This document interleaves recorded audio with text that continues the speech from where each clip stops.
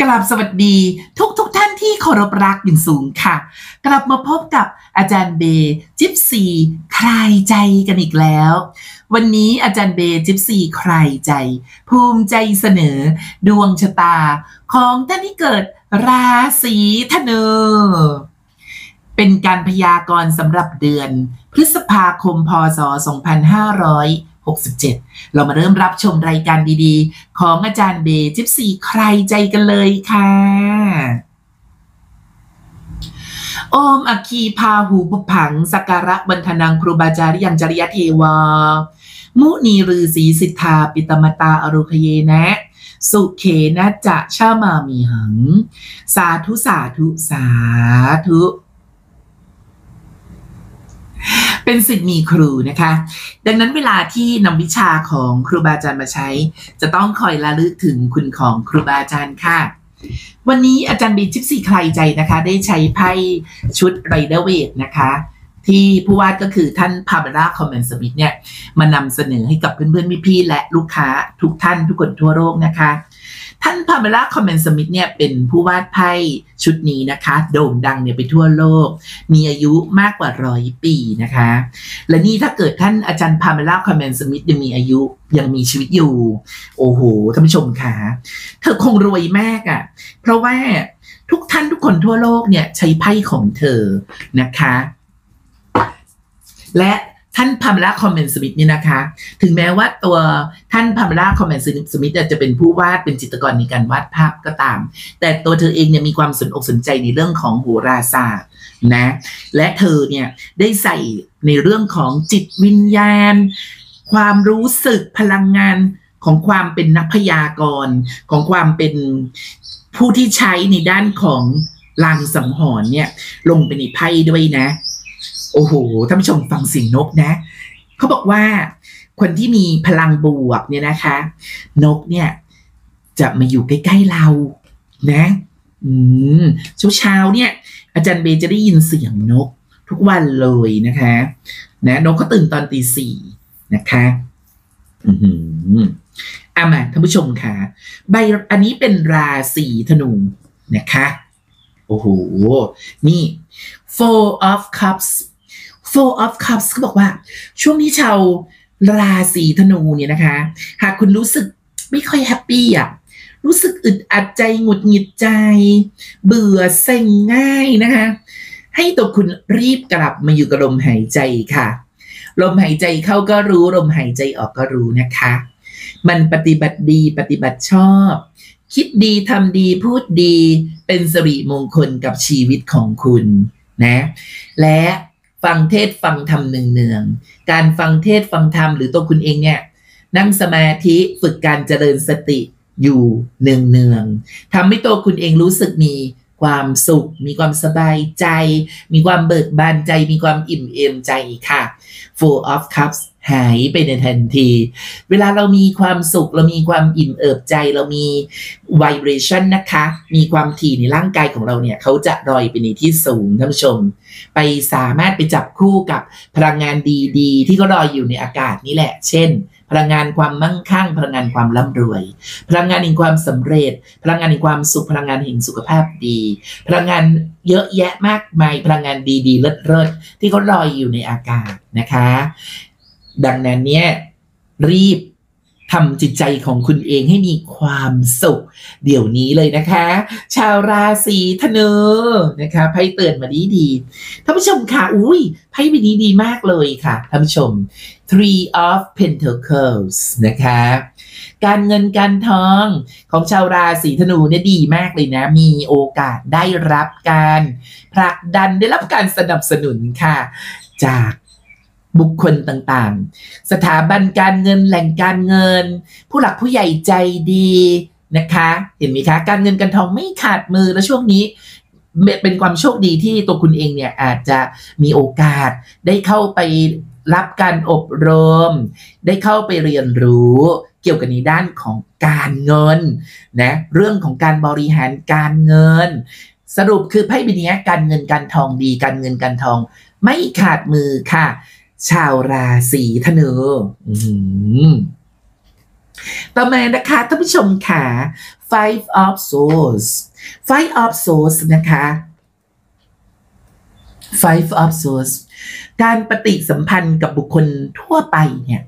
นะช่วงนี้ตัวคุณเองต้องไม่วู่วามไม่ใจร้อนนะ โอ้ไพ่ใบนี้เขาสอดคล้องนะกับ four of cups นะคะ ช่วงนี้ทำจิตใจสบายๆเบาๆชิวๆสบายๆเลยค่ะ ตอนเช้าๆตื่นนอนมาเนี่ย ให้กล่าวคำขอบคุณนะคะ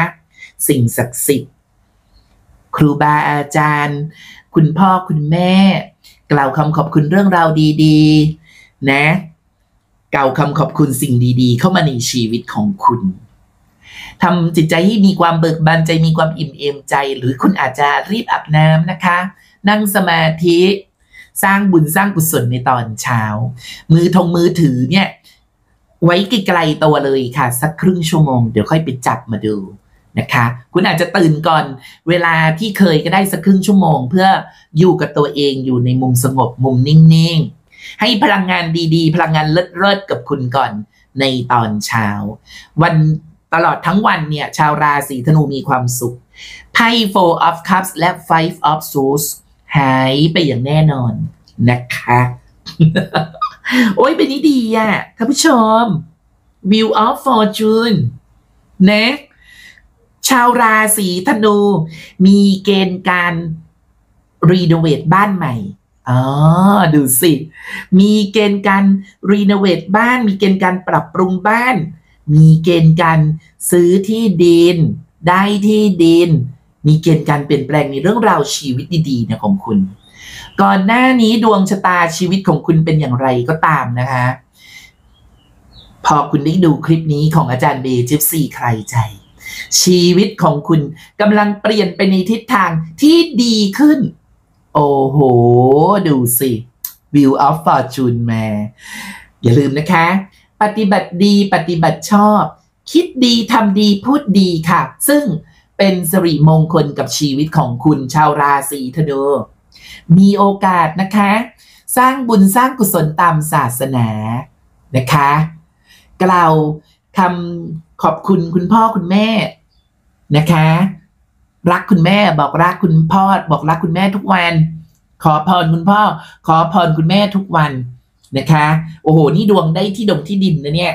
นะชีวิตดีดีเรื่องราวดีๆกำลังเข้ามาในชีวิตของคุณแล้วนะคะ ชาวราศีธนู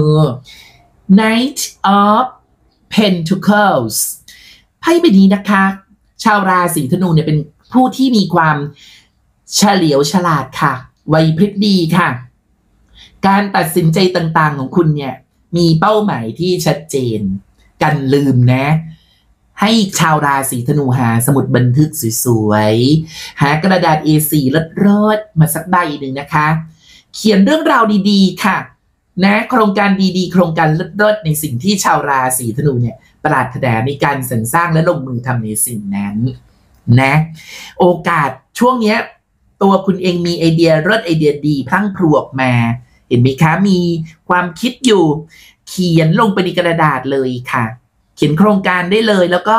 ให้แรงผลักดันต่าง ๆ เหล่านั้นมาคอยผลักดันมาคอยสนับสนุนตัวคุณนะคะ ชาวราศีธนู ให้ขับเคลื่อนไปข้างหน้าเพื่อที่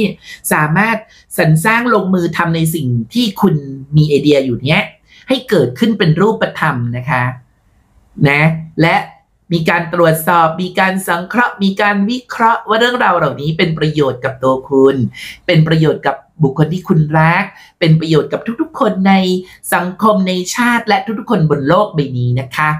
แบ่งปันออกไปค่ะ ยิ่งให้ยิ่งได้เป็นธรรมทานนะ โอ้โห ดูสิ เลิศนะให้สวยนะโอ้โห ชาวราศีธนู ต่อมานะคะท่านผู้ชมค่ะไพ่ Devil นะคะ โอ้โห นี่ Devil ไพ่ Devil เนี่ยนะ เขาอยู่ในตำแหน่งอรินะคะนะและเป็นไพ่เดวิลวันนี้ไพ่ของชาวราศีธนูเนี่ยเขาเตือนถึงสามใบเลย นี่ ความวู่วามความใจร้อน เห็นไหมคะ อารมณ์หงุดหงิด อารมณ์วุบวาบวุบวาบ อารมณ์ไม่เลิศอะ ต้องรีบ เขาเรียกว่าเลยนะ เขาเรียกว่า ละลายอะ ให้รีบละลาย พฤติกรรมเนี้ย ไปโดยเร็วเลยนะคะนะให้ให้นำอารมณ์เนี้ย อารมณ์วุบวาบอารมณ์วุบวาบอารมณ์ที่หงุดหงิดเนี้ยนะคะ เปลี่ยนค่ะ เปลี่ยนมาเป็นความคิดสร้างสรรค์ หรือนำอารมณ์เนี้ยมาสร้างในสิ่งที่ชาวราศีธนูเนี่ยต้องการสรรสร้างสิ่งใดก็ตาม เอาใช้อารมณ์เนี้ย ไปใส่ในสิ่งนั้นนะคะ ให้เขาเกิดขึ้นเป็นรูปธรรมนะคะ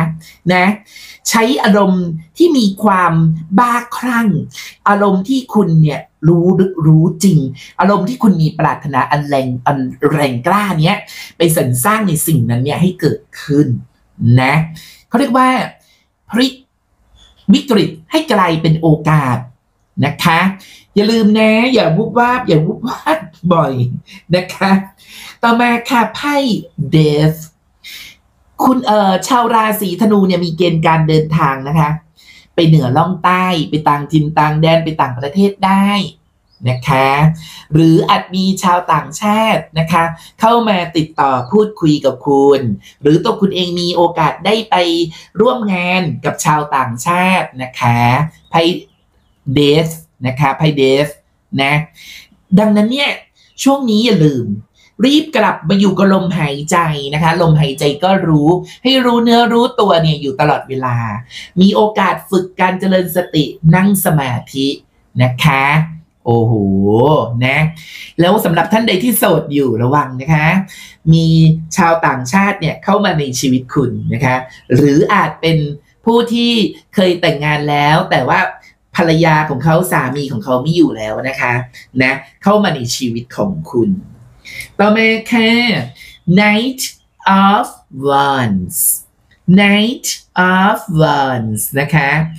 ใบนี้บอกเลยว่าสุขภาพพรรณนามัยของชาวราศีธนูแข็งแรงมากนะสุขภาพดีแข็งแรงเลยช่วงนี้ตัวคุณเองเนี่ยนะคะ อารมณ์อารมณ์ดีนะ ไม่อยู่นิ่ง มีอารมณ์เบิกบาน มีอารมณ์แจ่มใส มีอารมณ์ ไม่อยู่นิ่งกับที่นะคะ มีแรงปรารถนาหลายเรื่องราวที่ต้องการลงมือทำสรรสร้างลงมือทำเพียงแต่ว่า ต้องกลับมาอยู่กับสติ คุณจะต้องมีสติสัมปชัญญะเยอะๆเท่านั้นเองนะคะ รู้เนื้อรู้ตัวนะโอ้โหวันนี้ไพ่เนี่ยเน้นนะคะ ให้คุณกลับมาอยู่กับตัวเอง รักตัวเอง มีสติสัมปชัญญะ นะคะต่อมาค่ะแฮงแมนโอ้โหไพ่แฮงแมนนี้นะคะเขาบอกเลยว่า เจ้าที่เจ้าทางที่บ้านของคุณเนี่ย แรงมาก บ้านหลังนี้อยู่แล้วเฮงบ้านหลังนี้อยู่แล้วรวยนะ ดังนั้นเนี่ยตัวคุณเองนะคะ ต้องคอยดูแลบ้านช่องห้องหอของคุณให้สวยงามนะ โอ้โหเมื่อสักครู่นี้เราดูไปแล้วว่ามีเกณฑ์การรีโนเวทบ้านมีเกณฑ์การซื้อที่ดงที่ดินมีการได้ที่ดงที่ดินด้วยนะนะคะ โอ้โห ดังนั้นเนี่ยจัดบ้านให้สวย จัดบ้านให้ดีให้เลิศหิ้งพระหิ้งเจ้าดูแลให้สะอาด สิ่งใดที่เก็บไว้แล้วมันเกะกะนะคะ เก็บใส่ลังเก็บใส่กล่อง รีบจำหน่ายใจแจกค่ะ สะสมไว้เป็นเชื้อโรคไม่ดีนะคะ มีทั้งหนูมีทั้งแมลงสาบ สัตว์เลื้อยคลานมาหมดแถมซ้ำเงินไม่เข้าบ้านอีกต่างหากนะคะ ดังนั้นเนี่ยรีบเคลียร์เลยนะคะ เพื่อนๆนะคะ เพื่อนๆพี่ๆนะเนี่ยส่วนสุขภาพพรรณนามัยของคุณแม่ระมัดระวังในด้านของการวิงเวียนศีรษะค่ะนะคะ ดูแลคุณแม่ดีๆ ดูแลคุณแม่เยอะๆนะคะสำหรับสุขภาพพรรณนามัยของคุณพ่อนะให้ระมัดระวังในเรื่องของอาการท้องผูกนะคะ ต่อมาค่ะได้ Acts of Wands ไพ่ Acts of Wands นี่นะคะท่านผู้ชม โอ้โห ความโชคดีของชาวราศีธนูมาแล้วสำหรับท่านใดที่ตกงานอยู่ มีเกณฑ์การได้งานเห็นไหมคะ มีการสอบผ่านสอบได้ด้วยหากท่านใดไปสอบกอพอเตรียมเนื้อเตรียมตัวเลยนะคะ ความรู้ความสามารถทั่วไป วิชาภาษาไทยคณิตศาสตร์ ภาษาอังกฤษ พระราชบัญญัติข้าราชการใหม่ ห็นไหมเตรียมเนื้อเตรียมตัวให้ดีนะคะสำหรับท่านใดที่เพิ่งเปิดเทอมไปหรือไป admission ที่ใดก็ตามนะคะ เกณฑ์การสอบได้สอบผ่านของคุณสูงนะคะสำหรับท่านใดปฏิบัติหน้าที่อยู่ในหน่วยงานองค์กร หน่วยงานของรัฐ รัฐวิสาหกิจ หน่วยงานเอกชน ธุรกิจออนไลน์ ธุรกิจออฟไลน์ ธุรกิจการเกษตร ธุรกิจทุกชนิดบนโลกใบนี้ช่วงนี้เป็นจังหวะดี เป็นโอกาสดีที่คุณได้รับการหยิบยื่น โอกาสดีๆ โอกาสเลิศๆเข้ามาในชีวิตของคุณ ชาวราศีธนูโอ้โห ดีมากนะ เป็นจังหวะดีโอกาสดีแบบนี้ชาวรักเออประทานโทษ ชาวราศีธนูต้องรีบสรรสร้างลงมือทำในทันทีนะคะ และอาจารย์เบจิปซีคลายใจ ก็ได้พยากรณ์ดวงชะตาของชาวราศีธนูจบลงแล้วค่ะ อาจารย์เบจิปซีคลายใจ ต้องขอกราบขอบพระคุณเพื่อนเพื่อนพี่พี่และลูกค้าทุกทุกๆท่านทุกทุกๆคนทั่วโลก โดยเฉพาะ ชาวเยอรมนีอเมริกาไอซ์แลนด์นอร์เวย์ออสเตรีย ฟินแลนด์ ชาวรัสเซียมาเลเซีย จีนฮ่องกง Korea ลาวกัมพูชา เวียดนาม พี่น้องคนไทยที่อยู่ในประเทศไทย และพี่น้องคนไทยที่อยู่ทั่วทุกมุมโลก เข้ามารับชมคลิปดีๆ ของอาจารย์เบย์ยิปซีไขใจเจอกันครั้งใด ก็ไม่เคยลืม กดไลค์ กดแชร์ กด subscribe กดติดตามให้กับอาจารย์เบย์จิปซีใครใจค่ะ ก่อนจากกันอาจารย์เบย์จิปซีใครใจขอให้เพื่อนๆ พี่ๆ และลูกค้า ทุกท่านทุกคนทั่วโลก โชคดี มีความสุข มั่งคั่ง ร่ำรวย ทั้งยามหลับและยามตื่น มีโอกาสมั่งคั่งร่ำรวย ได้เป็นเศรษฐี มหาเศรษฐีอภิมหาเศรษฐี และกลับมาพบกับ คลิปดีๆ ของอาจารย์เบย์จิปสี่ใครใจได้ใหม่ ในคลิปถัดไป กราบสวัสดีค่ะ